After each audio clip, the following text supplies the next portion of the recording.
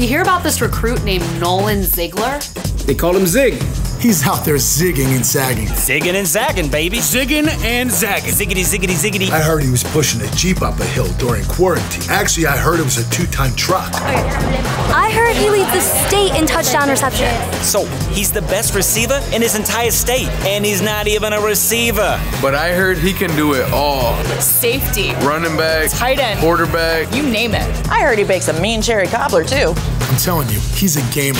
And in the ninth grade, he wrote an essay about winning the national championship in Notre Dame. I heard he never even considered another school because he couldn't bear the thought of playing against Notre Dame. And get this, he was born on St. Patrick's Day.